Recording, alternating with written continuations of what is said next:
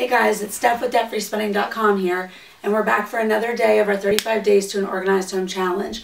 Make sure you subscribe to the YouTube channel so you don't miss another video while you're here if you get a chance. But tonight we're going to be talking about how to organize your craft space. I know that the number one thing that we need to talk about is where your craft space is located.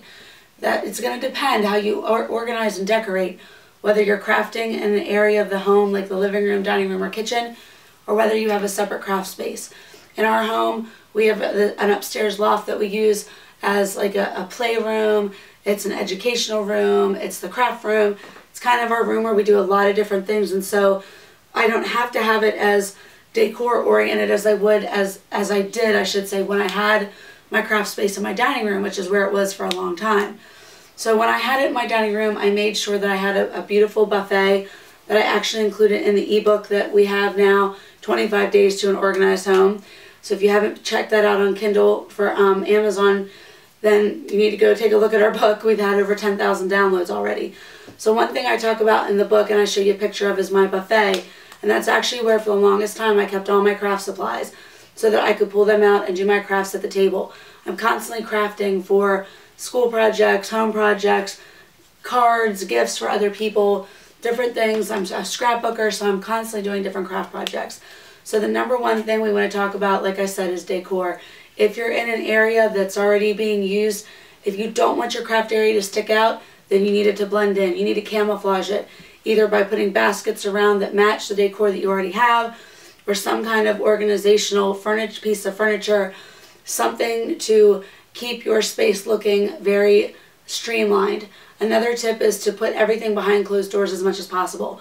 So if you can buy a cabinet or a buffet, if you have a hutch, maybe clear out dishes that you don't use, put those somewhere else and put your craft supplies in your hutch or your cabinet. So number two we're going to talk about is maintaining a clean workspace. You should start and end every craft project with a clean workspace. Now if you're doing this at the kitchen table, you probably have to if you want to eat again. But if you're in a craft, separate craft area, it's tempting sometimes to let things completely lay out. And so what we want to teach you is to stay organized with your craft area you need to put those craft projects away, even if they're incomplete sometimes. Now, sometimes you might have a project that needs left, left out overnight, needs to dry, or it needs to, you know, something needs to happen. You know, like we had a project the other night that needed laid flat under a lot of heavy books. So we were, we left that out on the craft table at the time. But the majority of the time, if you're not doing something like that, you need to put everything away.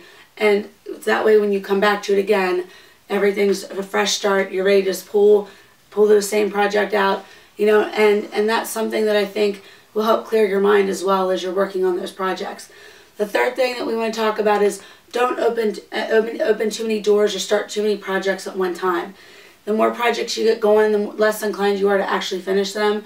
And that's many times how people get left with clutter and disorganization, is that they don't have a craft, a plan in a sense. So not that I, I'm saying that you have to write it down, but if that's something that helps you stay focused and complete projects one at a time, make a to-do list and put it on a bulletin board or tape it somewhere near your craft area so you know exactly what projects you're working on and which ones need finished by a certain date. So for example, if like my niece's birthday was this past weekend, but Easter's coming up in a month, I needed to make sure that the banner with her name was completed before last weekend. So I'm letting all the Easter things go at this time because I know that I needed to get her project done first. So listing your projects in order. And like I said, if you have to, work out some kind of list or to-do list or a planner for your crafts as well. The other thing we want to talk about is keeping your uh, projects or your items, your craft items, labeled and in bins of similar items. So these are all my stamps. I have my bin labeled stamps with another bin just like it because that's one of my favorite things with scrapbooking. So I have the totally labeled stamps. I have another one for buttons, another one for glitter, different things like that. So I have all of um, my scrapbook uh, papers labeled. They are in a storage bin as well, and I have each of them. Each of them has a label on the front, which that one came up a little bit. Like current projects, my first label says current projects, and then holidays and seasons, floral paper, so that I don't have to try and open each one and guess what kind of paper is in each of my scrapbook um, holders. So making sure that everything's labeled as well will help you stay organized too. Um, the, the last thing that we're going to kind of talk about is, you know, like here I did actually go ahead and buy a couple projects from, or a couple containers from Staples that we put together real quick.